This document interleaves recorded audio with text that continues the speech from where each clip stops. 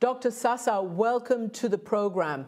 Can I start by asking you about the deadly force that the junta is using against protesters? Amnesty International is saying that its strategy has turned to shoot to kill the protesters. Do you believe that's what's happening on the ground in Myanmar? Unfortunately, I'm afraid that is true and fact. It's becoming getting worse and worse because uh, they have been uh, declaring the war against its own people. So the snipers are on the trees, snipers are on the, on the floor, on the, on the roof, and they are on everywhere, and they are just shooting. And this is just so sad to see. This happened again and again. It have happened uh, in 1888. It happened 97. It happened 2007.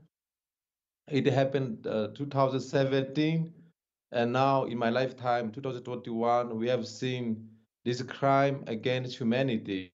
Let me just read you what the UN Special Rapporteur for Myanmar has said. He is basically saying that the junta is shooting down people in cold blood using 12 gauge shotguns, 38 millimeter rifles, semi automatic rifles against peaceful protesters who pose no threat. You've just talked about snipers in high, you know, at, at high points taking aim. What do you think the aim of the junta is now? Because up until now, they were using water cannon, they were using rubber bullets. Why do you think now, a month after the coup, they have turned to this escalation, escalation of live fire? In the way, it's not surprising. That's what exactly what happened in 1988. That's what happened in 1997. That's what happened in 2007.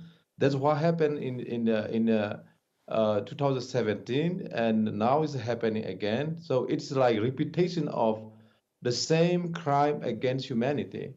And I'm afraid this is what has been happening to ethnic minority states like Kachin, Karen, Rakhine, Shan, Chin. This is what we have been the, the, living on uh, for the last 50 years. Uh, they are bringing the bombs by the fighter jets. You know, it seems like they have the license to kill. They have the license to, to rape, the license to torture, and the license to crime against humanity.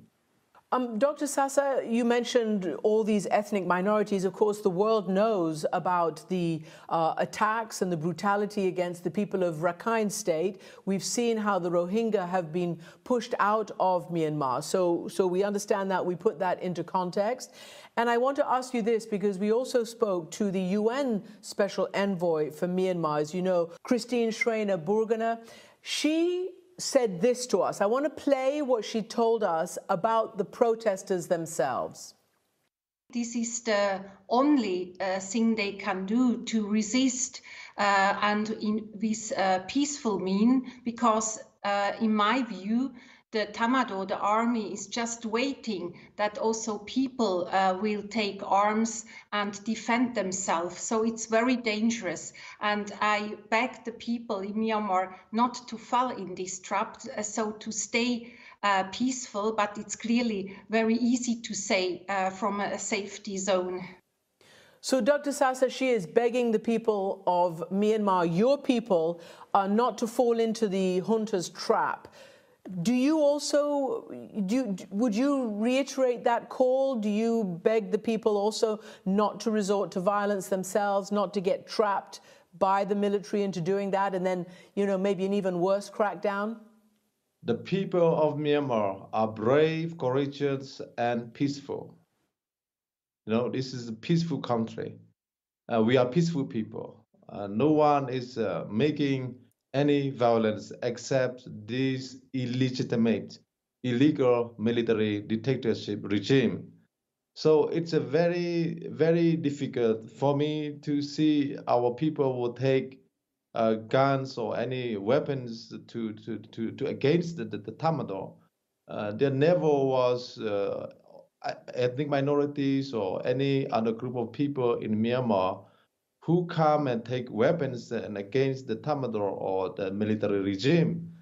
It was always this uh, military regime, dictatorship that go after ethnic people, that go after marginalized people, and that go after the most vulnerable people. So, I mean, I don't, I don't think that my people will be, uh, you know, taking any kind of weapons against, uh, you know, any anyone. There's never, there's no history in my country that the people of Myanmar against the, the, the police forces or the army forces.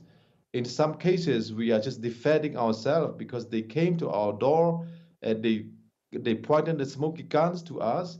So in that kind of situation, of course, maybe some uh, area they may try to protect themselves. Uh, but I uh, I think that they should not be uh, the people should not be uh, subjected to, uh, to to to to blame into any violence. All these violence are caused by the military junta. Nobody's blaming them. Everybody's just very concerned about them. Let me just read you something which shows their bravery, obviously, as you know. We've seen pictures of badges that a lot of the protesters are wearing. They're saying, and they put their blood type there, don't save me if it's not certain that I will recover my full health. I want to donate all my organs that are still of use with thanks. And this is Sanda Ku, and we have translated this and verified that name. It is quite extraordinary what the, what the peaceful protesters are doing. Can I ask you personally about your story? Uh, you escaped the day of the coup. I think you were with Daw Aung San Suu Kyi.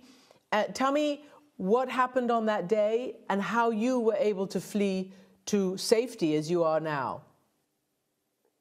I mean, I was supposed to uh, take uh, part in the, the, formation of the government, and I was to take some uh, senior role in the government.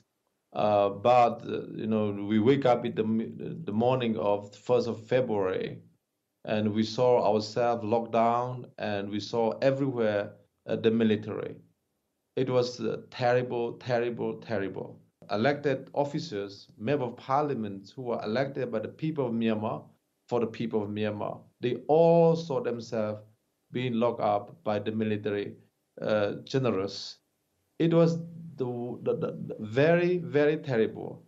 And I mean, it's intimidating. It was torturing on the face of democracy and the freedom that we want. And so I was asked to leave as soon as possible so that I can speak out about it.